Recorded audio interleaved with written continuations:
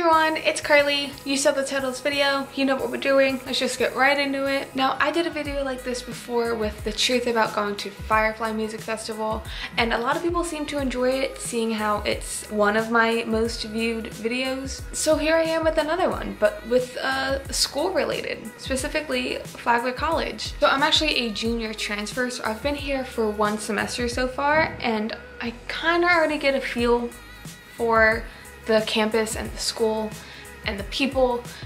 It was really easy to catch up on. So the first thing about the dorming. So if you are a freshman female, you are going to be in Ponce and I never had an experience in Ponce so I don't really know exactly what it's like. It seems relatively nice because you're living directly on campus. Like I live on campus but I'm kind of a walk away. For Ponce, you don't have to walk away. Neither do you have to do that for Lewis, which is the male dorm. Ponce seems really cool because each dorm room is not shaped as the one next to it or the one above it or below it. The school actually used to be a hotel, so each room is different because the designer for it wanted the guests to have a new experience every time they come back. I think that's really cool. So you can have a fireplace in it, you can have multiple roommates, not just one other one. But going more into what I know, which is the off-campus, on-campus residence hall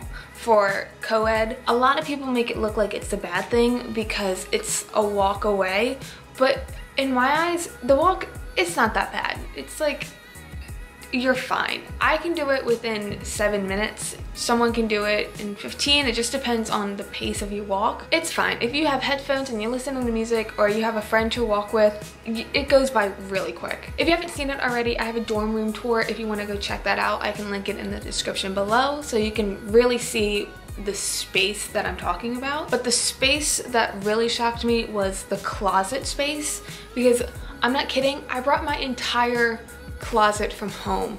Not just like season stuff. I brought each season. I have my summer clothes and my winter clothes and I still have about half of a clothing rod space. Now the food aspect for the school is kind of maybe a hit or miss, especially with D Hall. I don't eat meat, so I don't really have my own opinion on what the meat in D Hall is like, but a lot of people have told me that it's a little dry.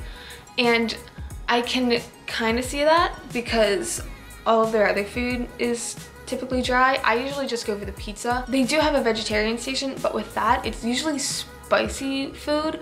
And listen, I'm white. I am full-blown Caucasian. I am whole milk. I'm not 2% milk. I'm full whole milk. And if no one else wants to admit it, I'll admit it. I can't handle spicy that much. It burns my tongue. I don't like it. But Flagler has this cool thing where you have your ID card and on it you have a declining balance that you can use in the bistro which has Starbucks, Boar's Head, and Chick-fil-A and then a bunch of small like snacks that you find at convenience stores. The Starbucks is also really, really cheap. Whenever I go, I always get a venti iced tea and it's less than $3. And they also have the pod, which is in the commons. So with that, each semester you have $150 put in it, and then you can use that however many times you want, and you can even add more money in it later on. Or if you want to use your meal plan, but you don't feel like walking over to dining hall, in the pod in the commons they have a little section where you can get a sandwich bag of chips and a drink you can only do it once per day but i've been using it a lot recently and i think it's really convenient so i don't have to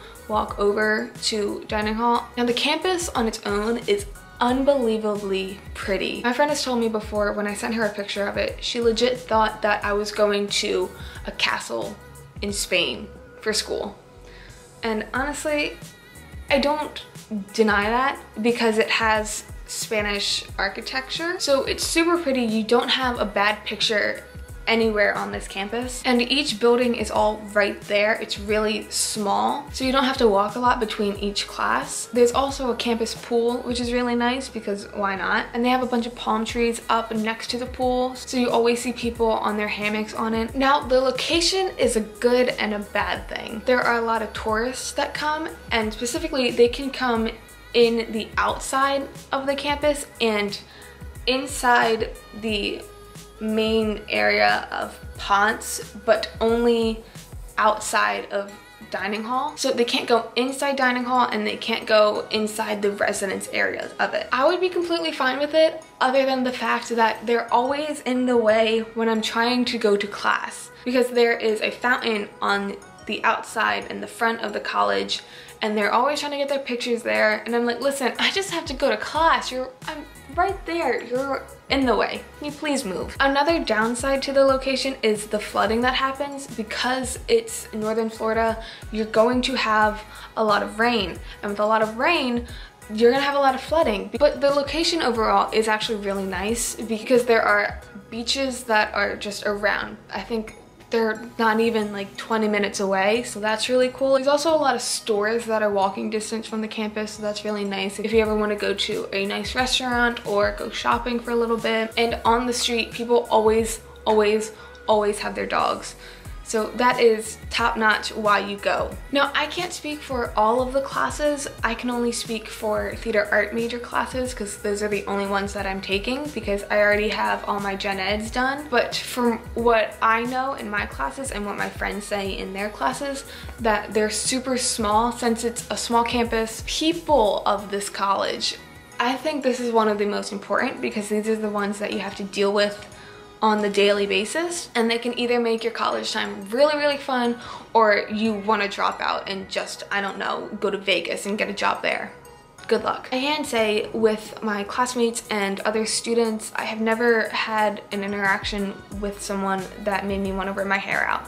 So that's a plus. Now for the professors, I only know the theater art major professors, but I do know that they keep the class super fun and interesting and they're always willing to help you at any time that you want at a, at a reasonable time. Don't try to contact them at like two in the morning. Now transportation is when it gets a little ooh, so parking can be an issue. Now there is a parking garage that is usually never at full capacity but that is at FEC so that's the walk away. But again it's fine. Also, the security shuttle, it runs from 6 p.m. to 6 a.m. More times than not, every time I call, I either miss it or it just takes way too long to get there. So in order to get a shuttle, you have to call the security and be like, hey, can I get a shuttle from Ponce to the Lewis Auditorium? And if you are not there in five seconds after they hang up, you missed it. Or they can take so long to get there that you just are like, you know what, I'm just gonna walk. Now the activities for this school are super fun and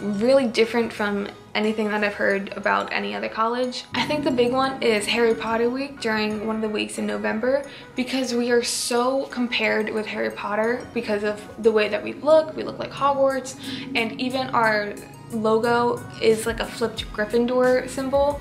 So I think it's really cool and they do a bunch of activities. They make the school look like Hogwarts in the dining hall. Another one that they do the week before finals in each semester, they have a thing called De-Stress Day where you just do a bunch of games and they bring dogs and it's just a way to relax and just calm your nerves and your mind before you start your finals. So I think that's really interesting, especially the dogs because dogs. Another one, I believe that they do this once each semester, but it's called Midnight Breakfast. So basically at midnight you can go to the dining hall and you can have food and have fun. Now this school has something called co-curricular events. I don't know if other schools have it, but basically it's a requirement to go to school activities at least 20 times during your time here. So that's basically five events each year that you hear if you're here for the typical four year time. You can really, really tell that I need to get my eyebrows done. But I'm starting to lose confidence that it's 20 things total for your time here. It might be less, it might be more. I don't know, but what I'm about to say still stands. But they're not boring, just like, oh, let's listen to this old professor talk about, I don't know, gluten. They're actually super fun. I so far have been to three and it was a presentation from David Kirkpatrick who works with Disney and with other stuff. He's a producer or writer, I can't remember right now, but he came to promote his new book called Dog. So his presentation was literally about dogs and just how they've been in film for the past hundred years and it was so fun. I cried, I'm not kidding, I cried at least 20 times. They also had the theater performances, so the musicals and the plays, those can go towards your co-curricular. Even the Midnight Breakfast that I talked about, that's a co-curricular. You can literally get a point for eating perfect. So that's what I have for you all today. Thanks so much for watching. Make sure to give this video a like or a thumbs up, whatever you like to call it.